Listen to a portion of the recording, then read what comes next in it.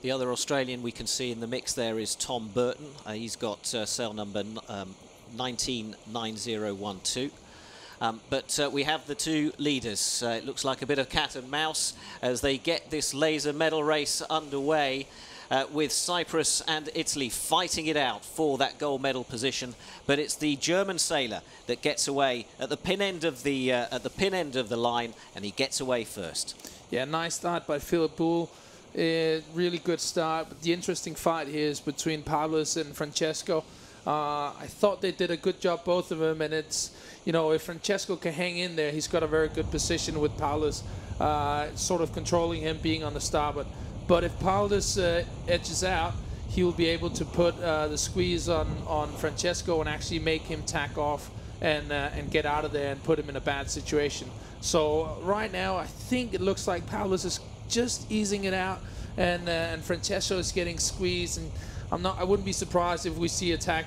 Yeah, there we go. And you know, and that's that's typical. When it's it's that risk when you start to windward of a, of another boat is that you would, you're putting yourself in a situation where you can get squeezed quite easily. But then again, on the other hand, you have the upper side, upper hand of being on starboard tack if if the other guy had to tack. So, you know, that's the that's the weighing out you have to do. And right now, Francesco is uh, is actually last. Yeah, and Marrai, I think I saw him tack back, so uh, is now on the same line as uh, Kontides. Um, but this is uh, pretty much a typical laser race. Uh, hard to call on this first leg. Everyone neck and neck, really close. Philip Buhl maybe just about edging it uh, as they go up this first leg of the laser medal race. Francesco Marrai out to the right, but to the left of uh, our screen there with uh, the Australian uh, Matt Wearn just coming in um, and, and, and closing that gap on him. Looks like uh, Sam Meech had a really good start. Uh, bronze medalist from Rio, just you know getting back in form. This is his first regatta back since the games, and he's really sailing uh, a good race here. It looks like there's been a slight uh, right-hand shift, uh, and uh, Charlie Buckingham is uh, is doing well as well. The Italian looks uh, quite stuck there in the middle of the fleet. He's stuck. It, it does seem like he uh, he got into that little bit of a of a of a right hand shift. So I think compared to uh, Kontides, who's tacked back and is coming across on port, it's gonna be it's gonna be quite close between them. Yeah, you see the cross right here. I wonder if uh, if Pavlos is gonna tack on him. No, he's gonna let him go. Interesting. Sam Meech on the New Zealand boat, currently leading the race, but these uh, these leads uh, constantly changing throughout the first leg and probably throughout uh, throughout the race. But Pavlos Kontides in the mix there with Francesco Marrai um, on a different tack. Yeah, I think uh, I think Sam is, is playing it quite well here and um, sailing a good race, putting himself in a good position. You know, controlling the fleet. Um, it's uh, it's going to be interesting to see when uh, Francesco is tacked back now and he's going to come back and Paulus is coming out to him and uh, let's see if they get into a little bit of a of a dogfight here. It, it, it's it's most likely. Yeah. We're on board with Kontides. We can see the Italian just behind him. They, so he crossed. He crossed behind him. Yeah, it looks sta- stayed clear. Looks like there's a little bit of a gap right now. Uh, it's not more than a couple of boat lengths, so it's still open. But but I will say uh, upper hand to to Pavlos. But he's got, you know, he, he has to put uh, three boats in between him. So it's not only just beating him; he has to put three boats in between him to get that gold medal. We just saw Philip Buhl and Sam Meech crossing. Uh, those are the two leading boats at the moment. Although, as I keep saying, the lead is going to change a few times. Uh, Sam Meech, of course, um, Rio bronze medalist, had a little bit of a break after Rio and uh, is now uh, making his return to the laser class and is obviously um, picking up his form which has been a little bit mixed over the week. But this is the man to watch as he tries to hunt down the gold medal and uh, steal it from Francesco Marrai, who go who started this race at six points ahead of Pavlos Kontides. Marcus, uh, what are you seeing on the water? Well, ha halfway up the halfway up the first speed, uh, the data looks interesting on Marrai and Kontides. They virtually have the same speed. It just uh, uh, goes back and forth between a, a less than a tenth of a knot, and they've covered exactly the same distance. So they seem very much on par at the moment, performance-wise. Yeah, I mean it's good to see uh, Sam and, and Tom up there. They're you know gold and, and bronze medalists out of uh, out of Rio, and uh, both of them have been taking quite a quite a break after the games, and this is sort of their first regatta back, and you know they're slowly but surely getting back into form, and and uh, you know good to see them uh, up there fighting for the uh, for for winning this uh, this medal race. So a Kiwi leads. An Australian is in second. Philip Buhl of Germany moves up to third. Um, but the real fight is happening further back. The fight for gold. Pavlos Kontides now in fourth. is trying to hunt down Francesco Marrai. Um, he has to finish three places ahead of the Italian to take that gold medal. Nick Thompson, let's not let's not forget about Nick Thompson, who starts the race in fourth. Yeah, it's uh, it's looking pretty interesting. It's really really tight right now.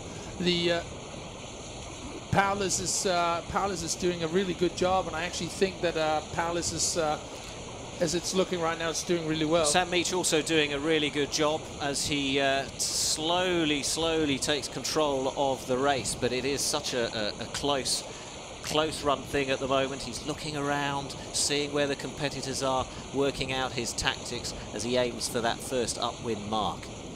I've sailed a couple of races against uh, Sam, and he's he's he's characterized by being this really really smart sailor, very conservative, always putting himself in the right spot compared to the fleet, like really sailing the fleet and just staying in control. Maybe you know not being too care uh, no, too considerating of uh, of the wind, but just focusing on to put yourself between the next mark and the fleet, just minimizing that risk all the time.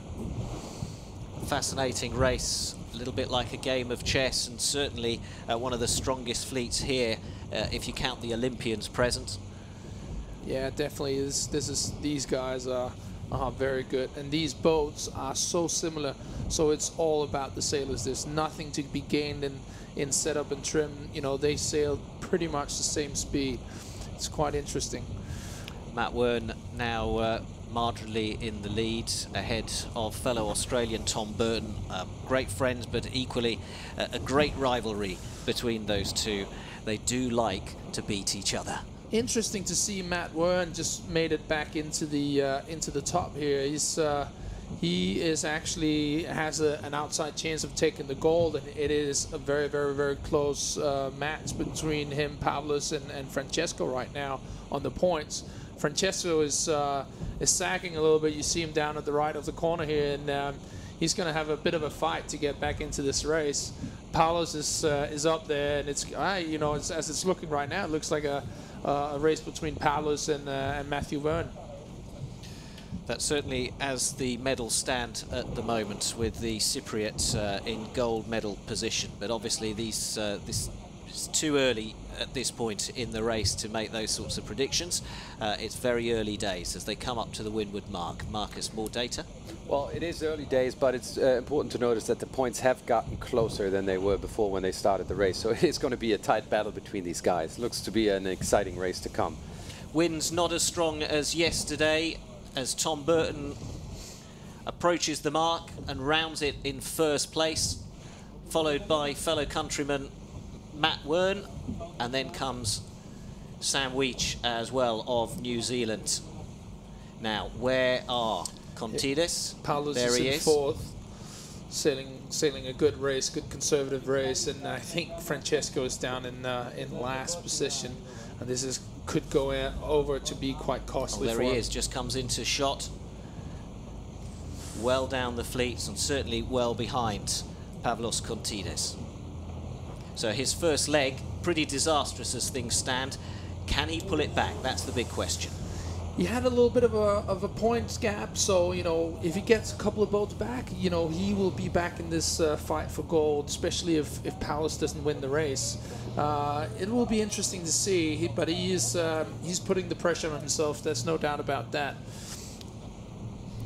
So as Tom Burton leads the fleet downwind, Marcus, what else have you got for us? Uh, Pavlos and, and uh, uh, Francesco, the difference in their performance on the first upwind is same speed, 60 meters extra to cover by uh, by Marrai, and uh, at the same amount of maneuvers. So he just covered a little extra distance, got uh, squeezed out a bit too often, I reckon.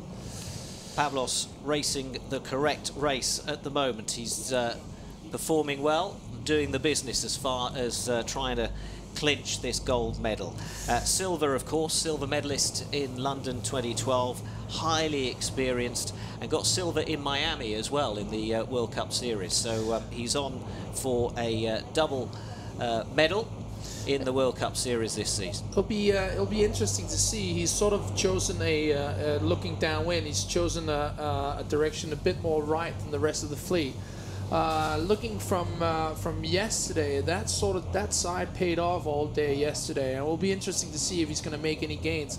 As it's looking right now, he's quite close to Philip Buhl and Sam Meech, but you know, a little gust, and then he's got a couple of boats more, and that will put him in a very good position for, for winning the gold.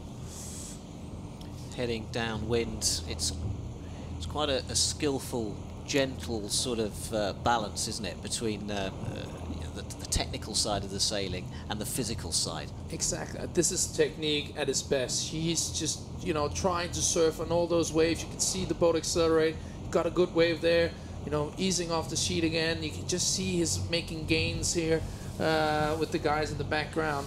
He's sailing the boat really smart, not pumping it too much, just up and down the waves. Meanwhile, a disastrous first leg for Francesco Marrai has left him, uh, well, penultimate at the moment in the fleet as he heads downwind, uh, which will be very disappointing uh, for him. Uh, he, he came to this uh, to this regatta in form because he uh, won gold at the Princess Sofia Trophy in uh, in Palma in Mallorca, the previous big regatta event. Um, what can he do now, do you think, to bring this back? I think he's doing the right thing. He's uh, he's uh, you know chasing a little bit of a different course than the the two guys in front of him, the the French and um, I'm not sure who that is, but he's sort of trying to put a little bit of leverage on, just sailing a good uh, downwind, trying to get a couple of boats back. Those boats are going to be crucial in his chance of uh, of winning a uh, winning a gold medal here.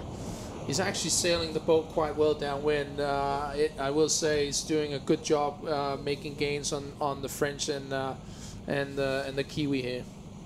Now, to me, it looks like it's getting quite light out there. It's looking a bit light. I wouldn't. I, I would guess that that's like seven, eight knots, maybe, maybe So this man, at the moment as things stand, will take uh, the gold medal and uh, by a good couple of points from Francesco Marrai, who started the race in pole position.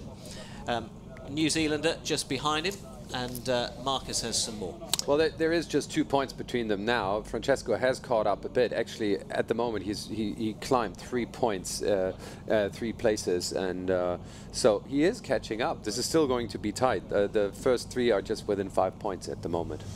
Yeah, and, and, and look at Palace. You know, uh, we talked about that left side on the race course looking upwind and, and right side looking downwind, and yeah, it, it, it paid out for him, and he he made a quite a good gain and got quite close to, uh, to Tom Burton here. But let's not lose picture of this race itself rather than the overall medal race currently being led by Tom Burton, Rio gold medalist um, and uh, obviously incredibly experienced. He's out of the medal running, but a man who wants to show his fellow competitors that he is still in control. I think one of the uh, gains uh, made here by uh, by our uh, Italian friends is due to uh, two flags given to the American and um, German. German. They just got penalized for for rocking uh, downwind. And I don't know if you heard that whistle in the background. That that sounded like another penalty. It'll be interesting to see who get who get that. Or that could be a, a course change as, as I see that right now. Our leader Tom Burton yeah, but look at Palace. He, that bottom he, mark. Look at Palace. He's really made some good gains here. He's he went from fifth to uh, to second, and uh, what a good downwind. Massive, massive gain. Um, he uh, he made a three boat gain on that run. Wow, so Pavlos Kontides rounds the mark having made a three boat gain on the downwind leg, which is a, a, an incredible performance from him, and that cements his place uh, at the top as far as the medals are concerned, but still a long way to go. But you know what? Francesco Marrai just answered him back and uh, and uh, did a three boat gain as well. So it's going to be really really close. It's uh, actually a four boat gain down this run. It's you know he did a really good job. Uh, helped a little bit by a couple of penalties for uh, for Charlie Buckingham and Philip Buhl, but but what a what a great run.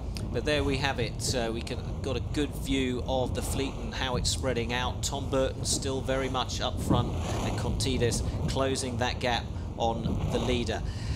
That's where he needs to stay at least um, to to be almost certain of, of, a medal. But of course, Marrai has not given in yet. In seventh place, still trying to work his way up the fleet. It'll be disappointing for Nick Thompson if he sees that uh, sixth position slip away. Uh, Thompson had started the race with a, a vague hope of winning a medal, but that has pretty much gone out of the window now.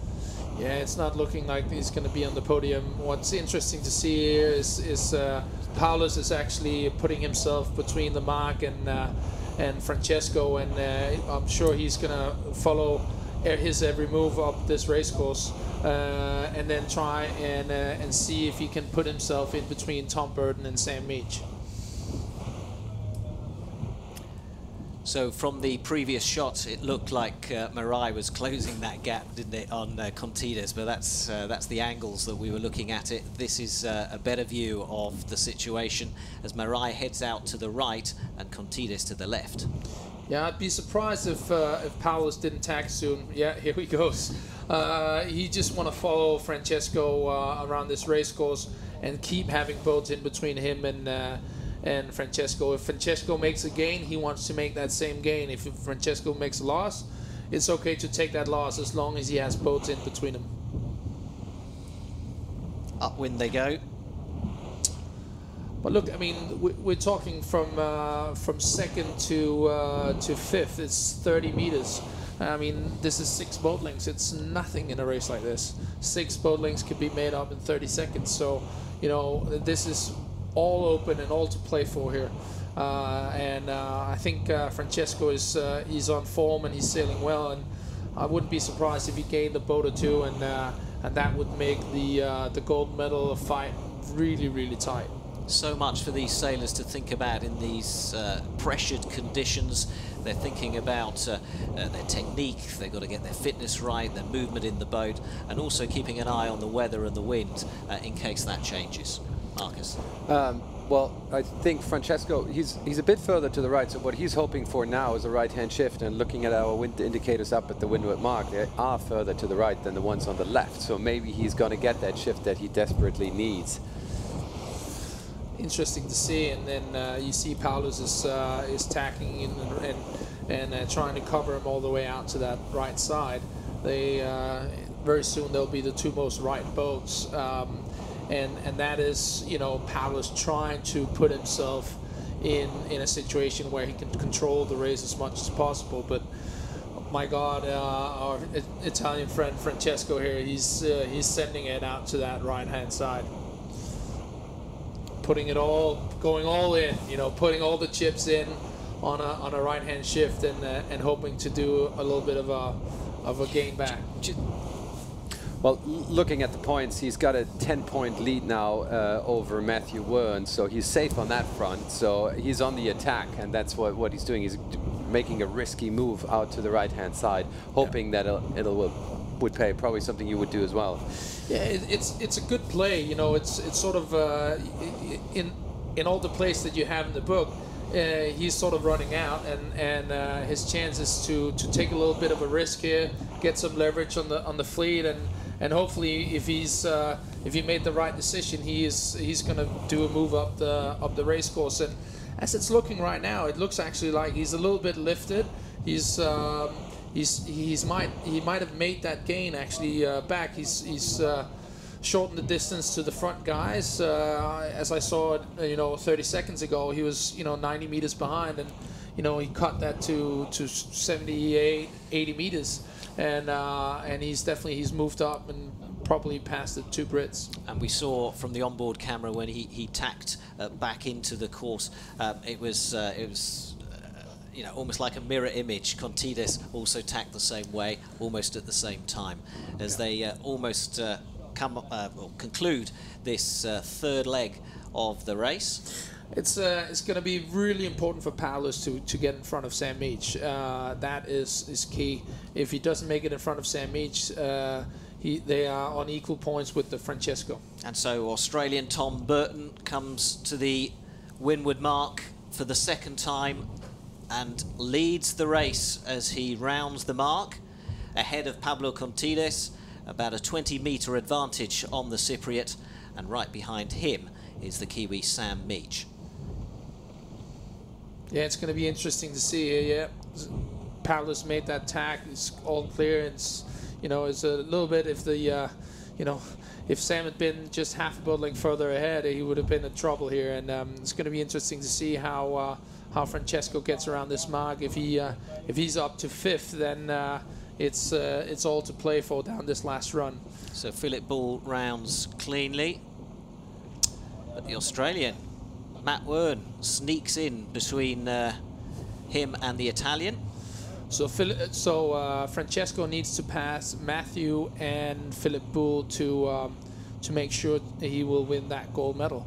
Uh, it is uh, it's a big ask, but you know there's not more than uh, 14, 15 meters in it, and uh, we saw that first run. He was doing a real good job getting sailing fast down that run, and you know he's there's a good chance that he will do it again it's nerve-wracking stuff as the leaderboard keeps changing just by a few meters with Kontides now slipped down to, to third place, which makes him and Marrai absolutely equal on points uh, as far as the overall uh, medal standings are concerned. Yeah, the, the medal race is the tiebreaker, so right now Paolo's still got it. He's still got the gold, but if Francesco just passes one boat, he's back in gold medal position, and uh, and again, Paulus can can can fight back by uh, passing Sam Meech, and you know they're neck and neck. There's a meter in it, so it's going to be really really interesting to see.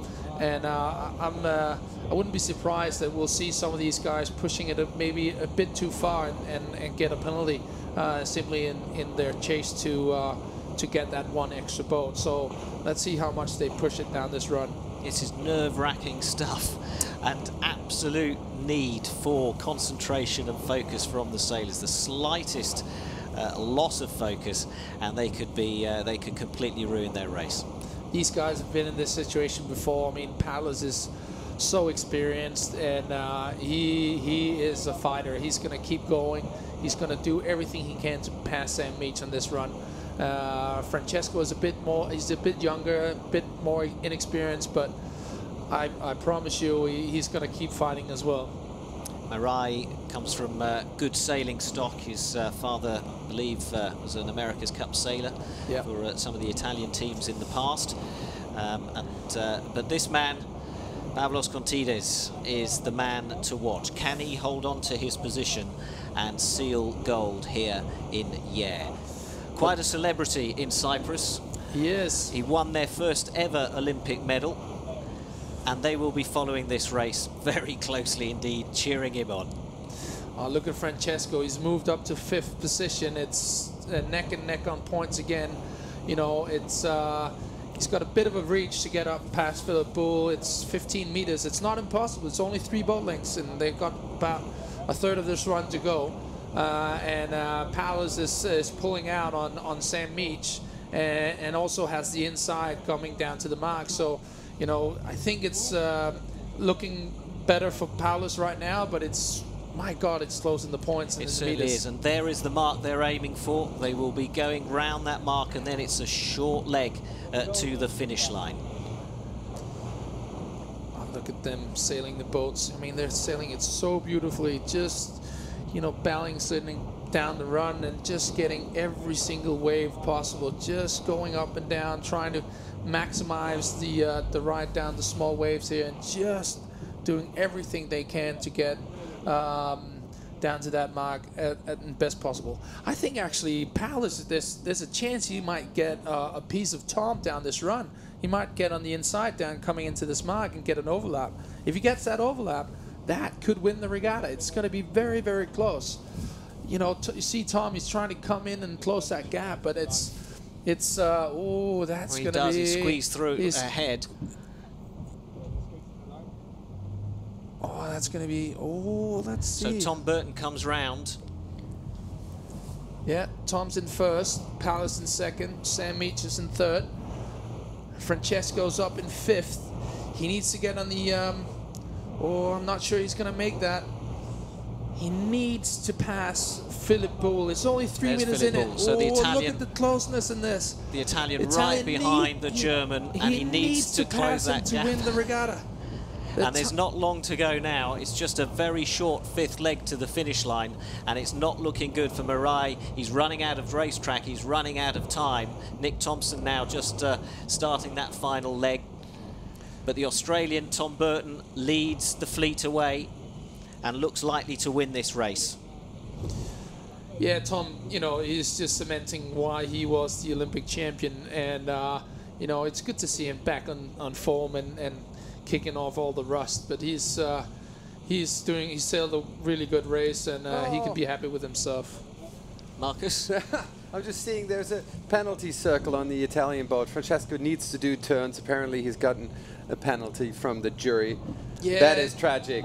Yeah, Do you think that was at that uh, last mark? No, I think he, uh, I think he was came out on that reach and he tried to push it with the rocking and rolling just to try and pass the German. But Tom Burton crosses the finish line to win the laser medal race. There's the hooter that confirms him as winner. But Cypriot, Pavlos Kontides crosses the line, second in the medal race. But that is enough to secure gold, we think, um, from Francesco Marrai, who, with that penalty turn, is now way down the fleet. But let's see him cross the line according to this graphic, in fifth place, which I believe would actually um, put him equal on points with Kontides. But because Kontides beat him in the medal race, it means that Francesco Marrai slips down to second and will have to make do with a silver medal. And he doesn't look very happy at all. No, he must be really disappointed. He must be really, really disappointed with this. He uh, he had a bad start, but he actually managed to get back in in a good good way, and uh, he just pushed it a little too far, and uh, and he got that flag on that last reach. And he looks over at Kontides, and I wonder what's going through his mind. A nice uh, sportsman-like uh, thumbs up and a wave, congratulating his opponent who has beaten him. Um, but I wonder what that penalty turn was about. Let's try and uh, connect with uh, one of the on-water race judges, Johan Perronneau, uh, who is out on the water. Johan, uh, can you hear me first of all? Yes, I can hear you. So, Johan, tell us uh, what uh, what was it that Marrai of Italy did uh, to get that penalty turn? So the jury penalized him for body pumping. This means that he used his body in and out to gain a bit of speed. Okay, thanks very much. Body pumping. Was there anything else in that race? Yeah, there were two other penalties given on the first downwind for rocking, which is uh, rolling the boat with as well body in and out, which is forbidden. Okay, yeah. Well, we uh, we saw that. Uh, Jonas uh, called that one correctly. So, uh, thanks very much, Johan. Speak to you again uh, later, as and when. Um, silly, silly, silly move from the Italian, or, Yeah, or just desperation. I, I think it was desperation. He was in a situation. He was in a position where he had to do something to try and make up that last boat. And on that last reach, I mean, it's so hard to overtake. And Philip was just in front of him, and he, he you know, he had to push it, and he just pushed it a little bit too far. But what an intriguing, enthralling uh, race that was. Tactics were uh, were extraordinary. It was a great, great race. It was so tight, so close all the time, shifting in uh, in the lead, uh, and uh, and really good sailing by all of the all of the guys here. And I guess with his coach now, um, the, the, the Italian Marrai. I guess with his coach, uh, they will at some point discuss that first leg because do you think that's where the race was lost for him? It was lost in the start. He uh, he was too uh, probably too focused on on fighting it out with uh, Pavlos, and just didn't get the acceleration right off the start, and that just meant that he uh, he he just put himself in a little bit of a bad situation and, and couldn't really get out of it, and got bounced back and forth uh, a couple of times just after the start, and he was down in last, and, and he had to fight his way back up, and he sailed a good race from there on, got back up to fifth, which is really good. He looks fast downwind. There's no doubt about that. That is his strength. So, first and second swapped places uh, from uh, the start of the race to the end of the race. Gold went to Pavlos Kontides. Francesco Marrai, who we're watching here with his uh, coach boat, uh, got silver. But Matt Wearn, the Australian who started in bronze medal position, uh, finished in bronze medal position, although well down the fleet in the actual medal race itself. But we'll confirm all those um, in a moment. In fact, we can do that now. So these are the results for the medal race. Tom Burton uh, crossed the line in first, but crucially, Kontides came in second and Marrai came in fifth. Sam Meech third, Philip Buhl fourth, and Nick Thompson, who started uh, in uh, fourth position overall, finished the day in seventh. So although Matt Wearn uh, didn't have a, a great race, finishing 12th, he did manage to hold on to his 12th, uh, to his third place bronze position. And Nick Thompson, um, not a great race for him, finishing 14th and missing out on any sort of uh, medals.